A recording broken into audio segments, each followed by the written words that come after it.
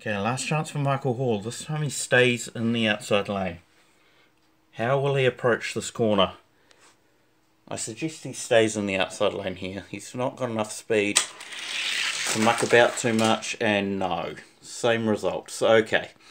So what we're going to do here is I'm going to test both this car that I've just run and the previous one on a steeper angle because remember um, it I'm probably going to be raising the start section.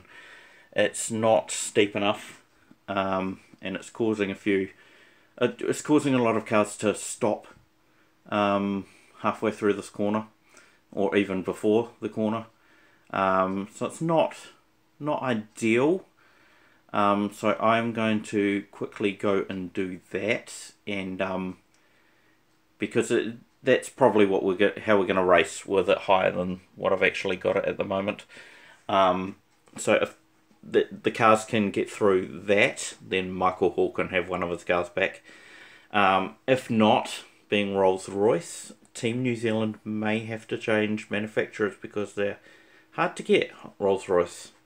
Um, and a lot of them are really old models, um, like what I've got here, and they're not very fast at all.